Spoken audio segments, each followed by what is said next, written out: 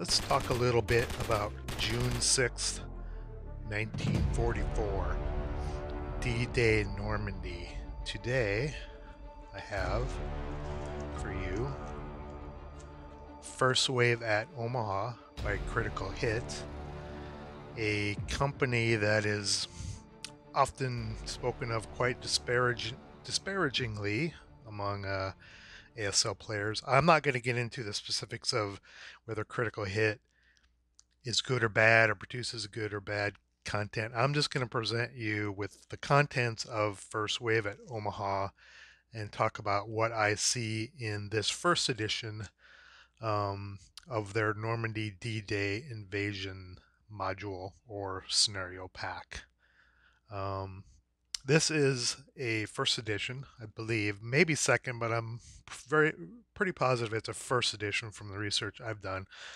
I bought it secondhand on eBay for a whopping $80, which is actually a very good deal because first editions these days appear to be in the two to three hundred dollar range.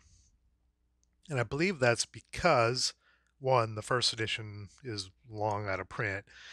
Um, Ray has gone on, as as everyone knows, likes to recycle, reprint things. Um, so this is the first version, and I think what makes it attractive is it comes with all the counters, and the maps are traditional uh, multi-fold maps, not not the panels that you'll see in later critical hit videos that I do, but they're traditional maps that fold out.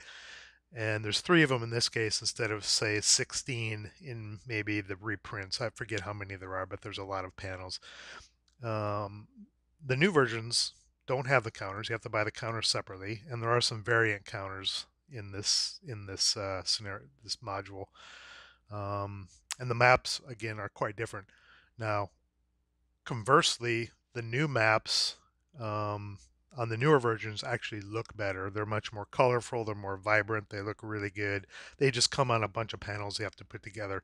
Like I said, you'll see that in a video I do of a later edition of um, the uh, Omaha East and Omaha West. Um, this is just uh, Omaha West, but it's called First Wave at Omaha. Um, and the new versions, if you order order the current versions off of criticalhit.com, they're as far as I recall, they're very expensive. So getting this for 80 bucks, I thought it was a steal, to be honest. Completely unpunched. It's basically new. The bag looks a little wor- uh, worse for wear, but uh, it's basically new. So let me let me open this up, and we'll start digging through the contents. Um, actually before I'll open it up and put it out. But before we jump into the contents, I want to talk a little bit about D-Day. Um, and you can use the timestamps below to jump directly to going through the content here, or you can listen to my little D-Day mini history lesson. Um, but I think you'll find it of interest because I talk about um, the map um, in this module because the map the map is really really good uh, in my opinion. Uh, Critical Hit does really good maps. This one is, from my analysis, is very accurate to history, and I'll show you what that looks like here um, when I pop up some some of those graphics. So let's take a look at what the uh, D-Day map looked like, sort of a historical map from back in the day. Um, and I show that here. And you can see um, this module, Omaha East, or First Wave at Omaha, which discovers East, covers only the section to the left of this uh, invasion map that I show here. Kind of uh, easy green and west. So easy green, dog red, dog white, dog green, and Charlie. That's what's contained in the uh, First Wave at Omaha module that I'm showing here. And you can see um, on this map, there are um, if you can see the red cross-hatched areas, those are all the strong points, um, German strong points along the beaches. And you can see the natural egress from the beaches are these draws. And on Omaha East, there are basically three of them, or two of them, I'm sorry. There's the uh, draw and the Les Moulins draw, I believe you pronounce it, kind of in the center. Um, that's be, between the draws, there are steep bluffs. So it's very difficult to get over the bluffs and to get any armor over the bluffs, obviously. So they, the Germans, fortified the draws very heavily. Lots of strong points built built into those, and that's historically reflect, reflected on the map, which I'll show you here in a minute. So the natural thing that the American or the Allies did was to try to actually go over the bluffs in between the draws, which made it even more difficult for them to get off the beaches. The draws are strongly defended, so they tried to go up the bluffs, which made it really difficult for them to do, which delayed their inland push um, into Normandy significantly. They did get the job done eventually, but it was that's why Omaha Beach was such a such a uh, thorn in the side um, of the Allies during the invasion, the way it was defended and the way the bluffs um, kind of restricted movement. Another thing to notice on the beach here there are these uh, little bracketed things with the red cross hatch on them. Those were um, gaps that were created in the obstacles um, along the beach. So there were only three. Um, there was a real wide one kind of near the Saint Saint Laurent draw in the center there, and then there are two small ones on either side of the Les Moulins on draw um, to get the majority of units through towards the bluffs or the draws and get inland at that point. Um, so that's just a quick little history of the struggles of the Allies um, coming onto Omaha Beach, um, Omaha West in this case. Now let me super, but this is the, the picture I'm showing here is the whole uh, Omaha Beach from Charlie on the left or west all the way to Fox Red on the right, which would be the east end of Omaha Beach. And Omaha Beach is Overall, it's about 3.6 miles wide, and Omaha West represents about two miles roughly um, of the beach. Now, let me superimpose, do a little switcheroo back and forth, superimposing the critical hit um, Omaha map, beach map, and inland map over this historical invasion type map of the first wave landings. And I'll switch back and forth to kind of show you how accurately the critical hit map mimics the historical terrain. So I'll do that now. Um, and you can see the bluffs line up really well. The beach lines up really well, even though there are rules for varying um, surf coming in depending on what time units are arriving onto the beach. Um, the draws line up really well. The roads are even really close. So I read that they made several trips to Normandy to actually plan out the map and go over the terrain. I'm sure they had historical maps, but this kind of shows you the work, the work that Critical Hit um, put into. I think it was Kurt Martin primarily, I believe, who did most of the work. Um, put into the uh, overall uh, Omaha map, um, ASL map. Um, very accurate. Lines up well historically. Now, there's some people that will say, well, sometimes historically accurate maps don't make for good games or gaming maps. That may be true, but that should be able to be accounted for in play balance, right? So if a map favors one side or the other, you should be able to try to balance that historical terrain um, with special scenario rules or unit adjustments or what have you. Um, Another thing to note is um, just on the Omaha e- or west portion, the left portion, um, there are, I think there are 86, 85 or 86 uh, hexes from the left to the right where the Omaha West map ends. And if you do the map on that, that comes out to 10,900, I'm looking at my notes here, 10,958 feet um, and if you were to measure a historical map using the map scale, I measured it to be approximately uh, 10,875 feet um, in real units, real feet. That's a difference of 83 feet. So they nailed the scale right down to what 80, like 83 feet of the Omaha uh, West map, and they mimicked all the terrain features as good as they could using a hex grid pattern. I think they did a fantastic job. The overall map that's shown here is east and west linked up together. Um, and there is a massive uh, scenario that does that. It links everything together. It's a huge monster scenario, and I'll get into that later. Um, but it's actually one of the most impressive maps I have seen in an ASL product. Um, no matter what you say or think about Critical Hit, um, I think it's a fantastic map. Um, I have not yet played on it. Uh, honestly, such a huge scenario. If you play the whole scenario, the monster scenario, I'm not sure I'll ever get to it in my lifetime, but it is an impressive map, and I love it, and I appreciate the work that went into it. Okay, let's now let's jump into now that I've got that out of the way to show you what the overall map looks like and how it compares to historical maps. Let's actually jump into uh, what is in the pack. We have our cover sheet, first edition, like I said, I believe. Um, let me just move this to the side and I'll pull stuff over.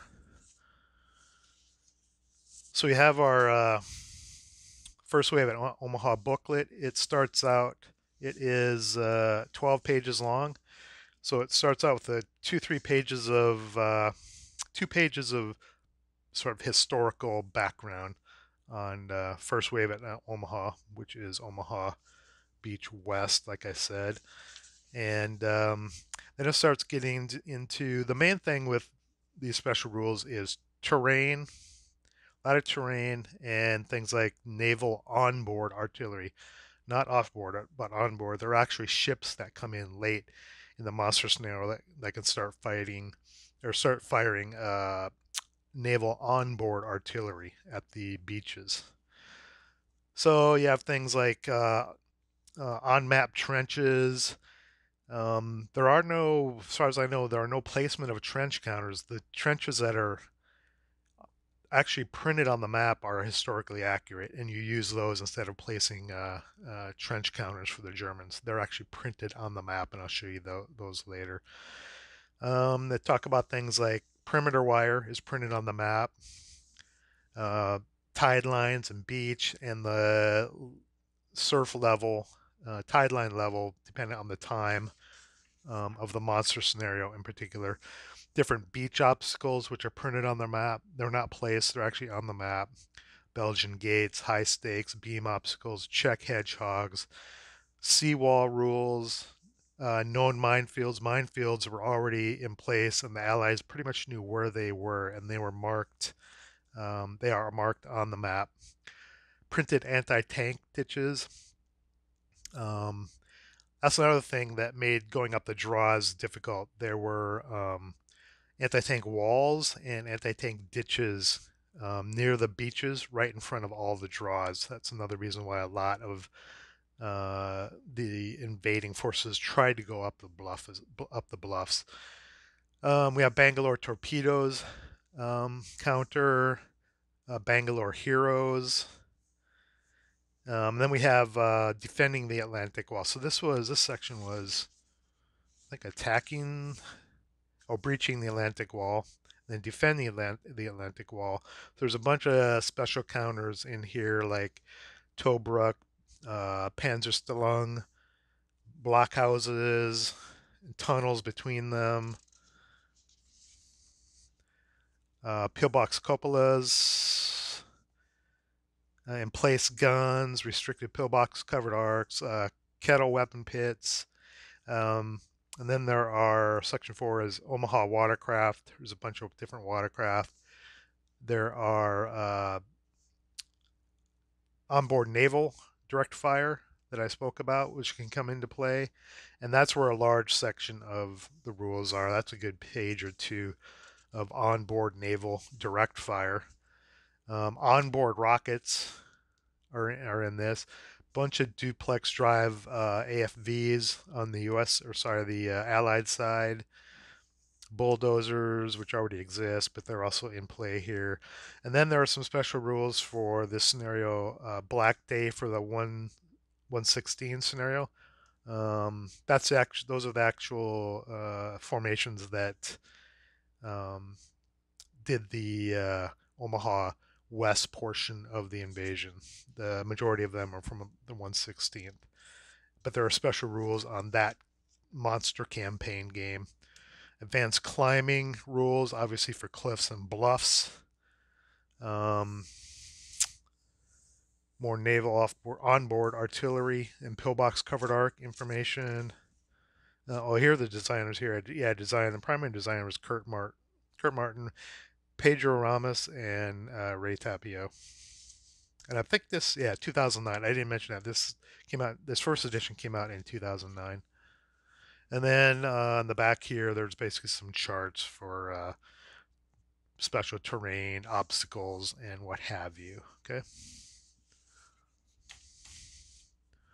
Let's go through the scenarios real quick. There are 16 scenarios. There are 15 that are traditional ASL scenarios that take place on some portion of the Omaha West map. In this case, it's up here in the upper northwest uh, corner. And they're fairly small, traditional type scenarios, right? So plan two, buying the farm, those are pretty short scenarios, five, six turns. Ace, eight turns. It's a bigger one. Uh, looks like uh, maybe that's a fight around Vierville. Yeah, Vierville, which is in the lower left corner of the Omaha West map. It's kind of a little village that down there. Trapped like rats, probably getting off the beach. Oh, getting uh, some armor off the beach. It looks like Texas T both short scenarios, five turns. Sergeants lead the way. And again, I can't make any comment on the the play quality of any of this stuff because I have not played it. I'm only looking at the quality of the contents, um, the, the, counters, the maps, how much is contained in here. Uh, off the beach, both of those look like uh, just small parts of the uh, Omaha West Invasion trying to get off the beach if you don't want to play the monster scenario. Lesson one uh, frontal at Saint Laurent. A brutal task. And these have all been reprinted. Like I said, I don't know if what, if any, updates have been done to these scenarios. I have not made a comparison. Uh, three story house. Rocket Man, this one must have uh, onboard rocket artillery. Yeah, right there. Some German onboard rocket artillery. Uh, smashing a breach. No footprints. Blood in the water. Looks like trying to take this draw. I forget which draw that was. That was the Le Moulin draw, I believe. Oh yeah, it's right there. Le Milan. Okay, that's the uh, yeah, that's scenario 15. So here's scenario 16, which is the monster scenario. Black Day for the 116. Um, this has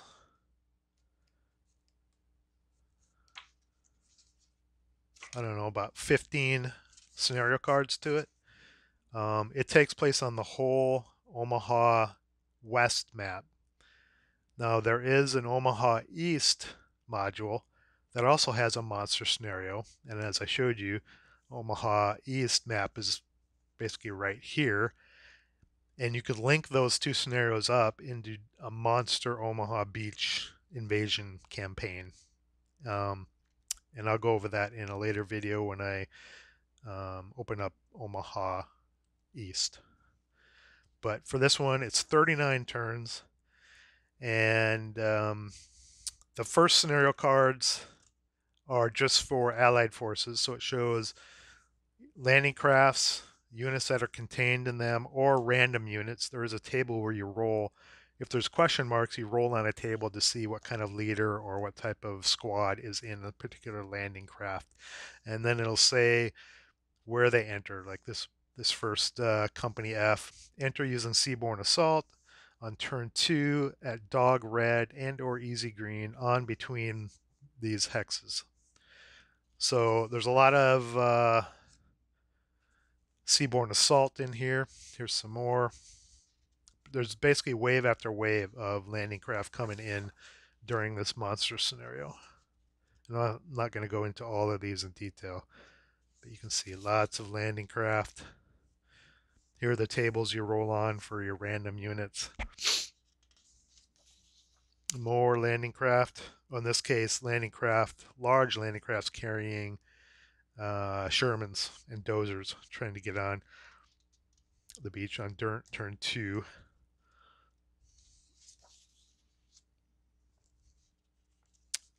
Landing craft for days. I'm not sure if the counter sheets has all of these landing crafts or you have to supplement them with your own. I have not done the math on that as of yet. More landing craft and allied units, American units, and even more. They just keep coming wave after wave. Um, and here is your naval onboard direct fire so uh, Enderon turned 32 along the west. Enderon, this is just U.S. destroyer McCook and USS destroyer Carmick. Enderon turned 35, and it tells you historically on each of these sheets. It kind of tells you historically what happened when they came on and where they came on and why. You know, like with the landing obviously in jeopardy around 8:30 0830 hours USS McCook moved in dangerously close to provide more fire support for troops. So it kind of gives you each uh, formation that's coming on board uh, onto the map onto the beaches. It tells you why and kind of what happened um, during that time. So it's kind of interesting I think that's it for the allies for the Americans and then we get into the uh, the German order of battle and a lot of these German order of battle are fixed at uh, these strong points, which are historical strong points, which are mainly centered or located, like I said, overlooking the draws uh, on Omaha Beach. The, the draws are highly highly fortified to keep uh, invading units from coming up those instead of coming up the more difficult bluffs. So a lot of these will say they're located in specific hexes, right? Um, within the WN65 strong point perimeter. If you look at the map, there'll be a perimeter line that defines that. They have to set up in these specific hexes or set up in any hex of that strong point's perimeter. And that applies to all the German units. They're pretty much fixed in their where their defense starts at least. They can obviously move after the game uh, the game turns. But as you see, the map is very large. You're not going to be moving you know a unit from one strong point on one side of the map all the way to the other you're going to be moving locally to position more tactically than strategically across the overall uh, omaha west map uh, and then there's some local reinforcements that come in uh, on after turn 10 as well.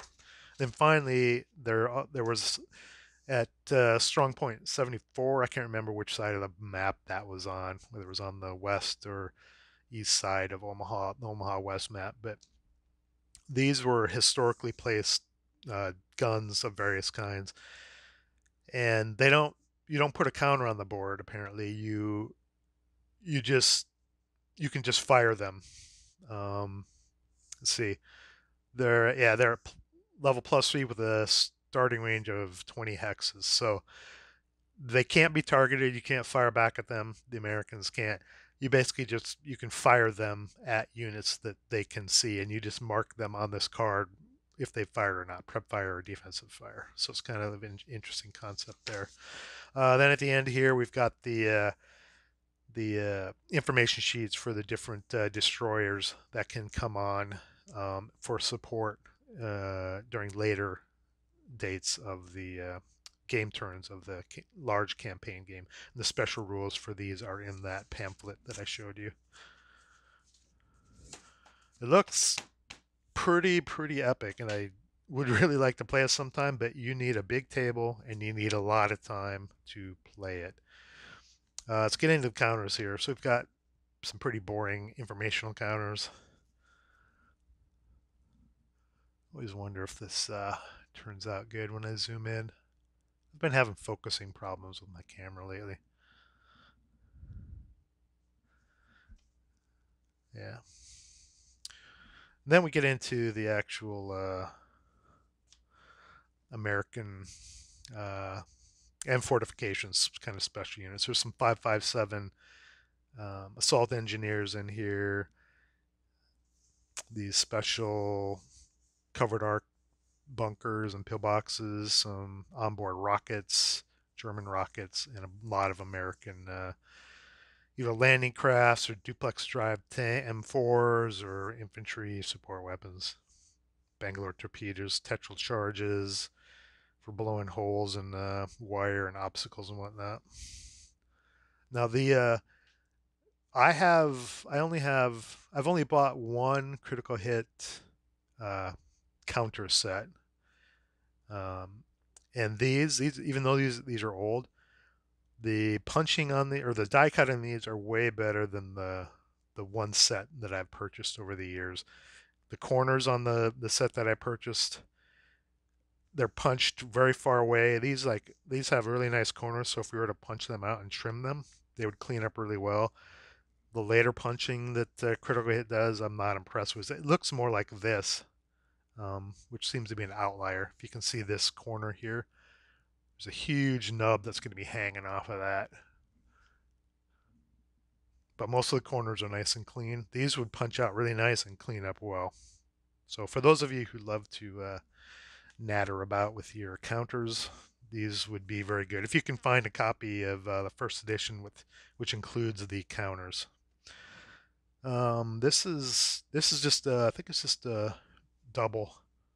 Yeah, this is just uh, there's two sheets. These are basically the same sheet here. Same thing, double double up on those. Uh, just this is all. Oops, got two there. This is all infantry. Actually, I think this is double too. It's doubled up infantry, uh, American and Germans. That's a leaders. Think there were some Bangalore heroes on here. Maybe it was the other sheet. It must have been the other sheet.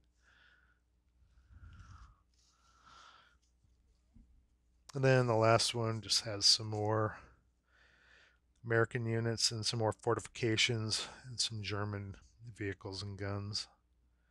Climbing, sniper activation. Oh, a ship. That's uh looks like a British color. Maybe that was yeah, HMS uh, Talybont. Lieutenant Colonel Trevor, British. So we get a close up of that ship there. The counters are generally uh, actually pretty nice, to be honest. Yeah, multicolored, looks like good die cutting, good printing. Um, then lastly, before I jump into a flyover of the map, I'm just going to show you the so the maps come in three three fold out sections. These are old traditional type printing, so they're very matte, no glare on these, but the drawback is the color is pretty muted, and you'll see that when I do the flyover video of uh, the Omaha West Beach. Um, but they're reasonably sized. The reprints, the there are two versions of the reprints. There's a larger uh, hex size. And then there's a monster set, which I don't know how big those hexes are. I do not do not ever consider buying any monster scenario pack from uh, Critical Hit. To play anything, you'll probably need half your house to lay the map out. The hexes are just enormous, and the map ends up being bloated so big that you can't even probably couldn't even reach units in the middle of the map if you had to actually move them. So that's what makes this attractive. These are traditional hex sizes. It lays out on a reasonably sized uh, kitchen table. If you have a good sized kitchen table you can actually play this on a table as opposed to the more later printings where it would be difficult to actually fit it on a table to play it. Uh, and then lastly it's just the uh, kind of the back sheet propaganda, what's contained, you know, historically what it's all about. Um, so that's it for the actual physical product or physical components of the uh, first wave at Omaha pack. Uh, so next, let's go over, I'm going to lay out the map. I'm going to insert a uh, video here and we will uh, go over, uh, fly over with my uh, camera of the actual map and zoom in on them, some things and see what it actually looks like. All right, let's do a flyover of Omaha Beach, the uh, west portion of Omaha Beach. Here's a zoom out as far as I can get of the entire map with a uh, pocket rulebook size for reference. I measured the map, this first edition map. It is six feet long by three feet wide. Now, any additions beyond the first edition, the map is going to be even larger. Keep that in mind. This fits, actually it fits perfectly on our kitchen table. We have a fairly long kitchen table. Well, I think we have a leaf in it. With a leaf in it, it's very long. But this could be played perfectly on our kitchen table. So here's the details. Let's fly across the beach here. There is the uh, Vierville draw leading into uh, Vierville itself.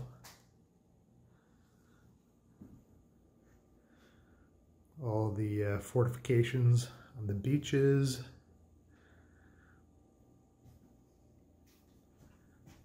Here is the, the uh, Les Moulins draw.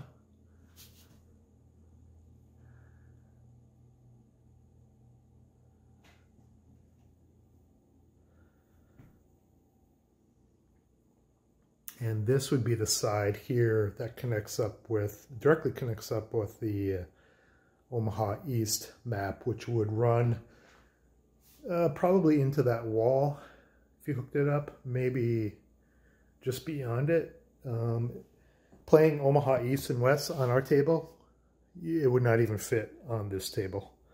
So you need, even for this more reasonably sized um, map of this version combined, you would need two massive tables um, to pull that off here. Um, but you can see this version of the map. The hexes are normal sized. The printing is matte. There's no no real glare coming off it. We have a little bit coming in from uh, uh, the window outside there, but uh, yeah, no real glare. Color's are a little muted compared to the reprints that come later. They're much more vivid, but you're trading off a gloss finish um, for this matte finish. Here's some of the uh, historical uh, trenches you might see, historical minefields. And there are, there are, I think, yeah, there are eight levels on this map from this kind of greenish gray color, which is considered zero. I think they call this the promenade um, just beyond the seawall here. And it goes all the way up to level 8 here um, above the beach. And there are a lot of uh, steep terrain here. So these are the bluffs I was referring to. You go directly from promenade up to level, let's see, two, three, four, five in a matter of uh, three hexes. So these are very steep natural invasion route would have been up the draws here um, on Omaha West and over on Omaha East as well. So here's a here's a perimeter line for a strong point WN70. This is upside down, sorry.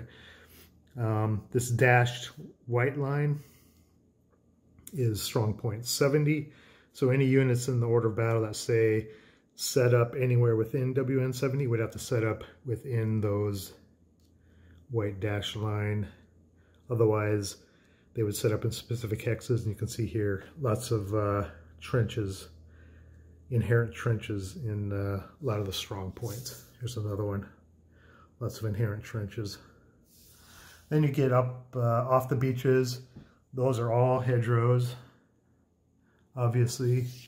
We have a lot of orchards and small villages, a lot of open ground as well uh, with minefields. Lots of minefields. I believe the inherent minefields, if I remember from the book booklet, are only two firepower factors, but they, they're all over the place on here.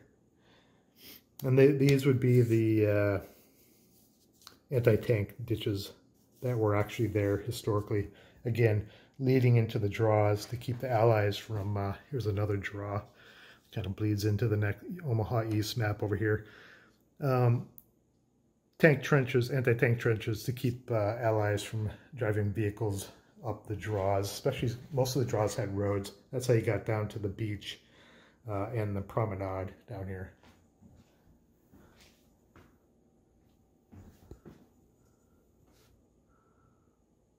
Very cool map. Very historically accurate.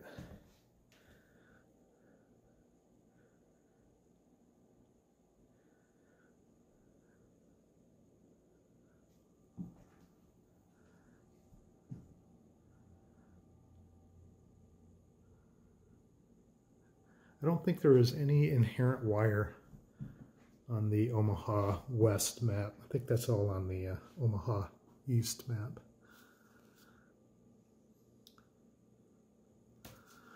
Very steep terrain here. Is that four, five, four crest lines and one hex? That's practically, might want to just call that a cliff, practically. Um, there are cliffs on yeah, Omaha East, there are some cliffs. I don't see any here.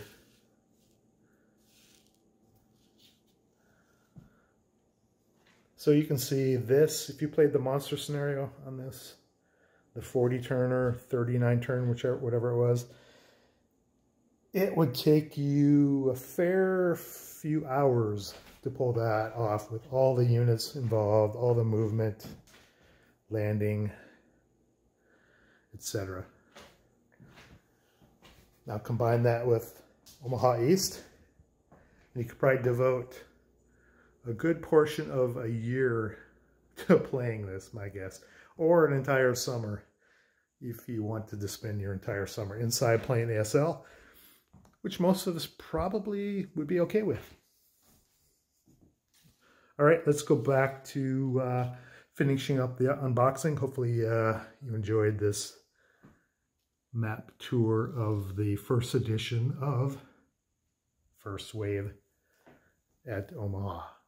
Okay, we're back from the flyover. Hope you guys enjoyed that and it gave you a good overview of uh, what the uh, maps looked like laid out.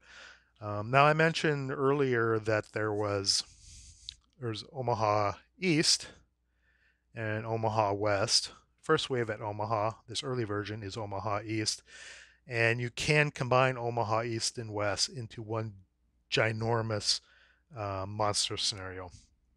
And they have different, uh, slightly different rule sets because different things happened on Omaha East versus uh, Omaha West, or slightly different fortifications um, on the east versus west. I think there's perimeter wire in the east, but there isn't in the west. Things like that.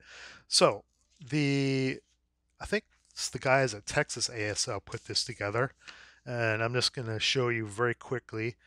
Um, John Heiler, um, this is where I downloaded it. It was Texas uh, ASL, and they talk about Texas team team tournament where they played it and found some of these inconsistencies. So they put together this uh, Omaha East and West rules consolidation. So if you were ever to play both of the huge modules combined into one probably life stopping monster scenario, they've kind of taken everything and shuffled it together into one uh, rule set, one rules consolidation. And I was just going to show you what that looked like here. So they mash things together. I think the things in red, it's supposed to be red, my printer didn't print it very well, um, are where the rules differ, where they kind of jam the pieces together to make one rule set here.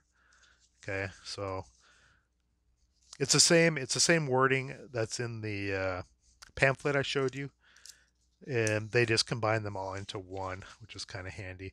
Um, they might have tweaked these uh, uh, these cur- tur- curved uh, sorry these covered arc graphics a little bit, and uh, maybe the naval onboard artillery a little bit. That's one of the complaints about critical hit. Sometimes the rules aren't quite as complete as they should be. So I think they, the Texas ASL guys or whoever did this, the uh, what was his name again, John Heiler, took the time to try to clean things up. So if you were to play the whole thing, yeah, you have this resource. And then there's some flow charts here. at the end. Uh, Omaha East-West beaching flow chart. Jeez. Uh, beach obstacle attack resolutions.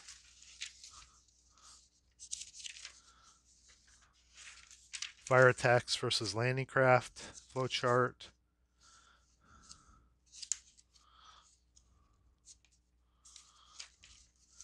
Continued. Sorry.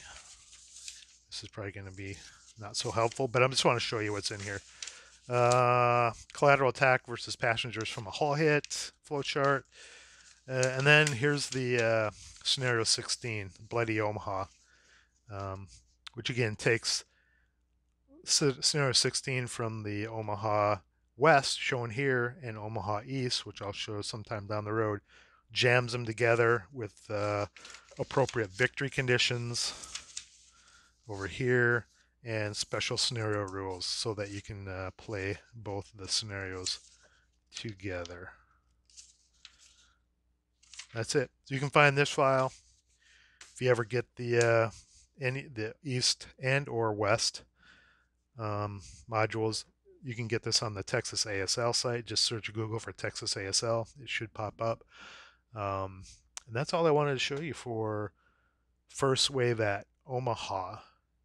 Hopefully you guys enjoyed it. Hopefully you found it uh, informative. Again, I'm not going to get into the business of uh, bashing or praising Critical Hit. I'm only going to speak to what I have in front of me. And this is probably their most ambitious module they've done. Um, and again, it's 12 years old as far as I know. I believe the map is gorgeous. The map is very well done. I can't speak to the quality of the and balance of the scenarios, but it does look like it's it is historically researched for, fairly well. I don't expect it's fair it's that balanced, um, especially if it's based on historically what happened at, at Normandy. I, I expect the Americans to win most of the time, but there's very little official Normandy uh, material out there. Um, uh, there is a campaign game coming. I've been hearing that for many, many, many years. Hopefully, we'll see it one of these decades. Uh, but Critical Hit does have a bunch of Normandy stuff, which I think is fairly popular, and it kind of scratches my itch because Normandy has always been interest to me. So, if you can find this for cheap, like I did, 80 bucks on eBay, uh, I think I got lucky, to be honest. Um, you might consider picking it up just to have it as a reference and play through some of the stuff. Um, if not, just for the map alone, which is which is like I said, I keep going on about the map, but it's one of my favorite maps uh, in any ASL product I own.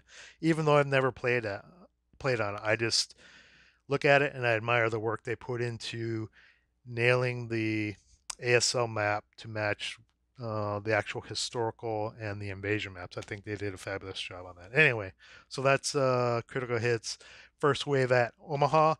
Um, that's it for this unboxing. I'll see you next time. Rolo.